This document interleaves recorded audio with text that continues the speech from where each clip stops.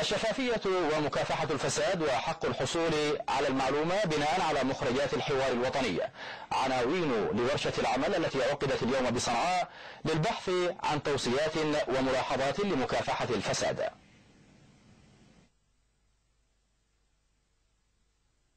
لا نريد دستورا آنيا يعالج مشاكلنا الحالية ولكن نريد دستورا يعالج كل ما قد سيأتي في المستقبل شاملا وكاملا لكل شيء.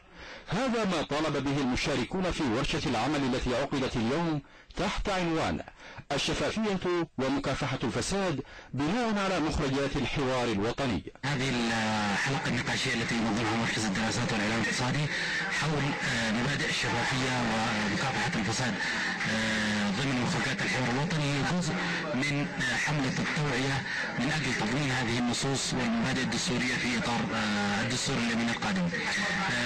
صياغة الدستور ملزمة بتضمين هذه النصوص في إطار الدستور اليمين القادم وهي ملزمة بالتأسيس للحكم الرشيد من خلال هذه النصوص. قانون حق الحصول على المعلومة وإقرار الذمة المالية وإلغاء الحصانة هي المبادئ التي ناقشها المشاركون في حلقة النقاش. وأكدوا على ضرورة التوصية بها للجنة صياغة الدستور لتضمينها كنصوص في الدستور الجديد. لابد أن يقوم المجتمع أن ينهض المجتمع أن يشارك المجتمع أن يتفاعل المجتمع مع قضايا الفساد أن ينبذ كل فاسد أن يحاسب كل فاسد كان صغيرا أو كبيرا. الآن لديك طرق عديدة لاكتساب المكانة الاجتماعية. إحداها للأسف الشديد نهب المال هذا ما أريد أن أوضحه في مثل هذه المسألة التي هي في غاية الأهمية والتي لابد أن يتدرج إليها كل من يحاول أن يوجد منظومة فاعلة لمكافحة الفساد في المجتمع. القضاء على الفساد في الدولة المدنية الحديثة وعدم ترك أي ثغرة تساعد على الاستغلال تحت مظلته في الدستور الجديد.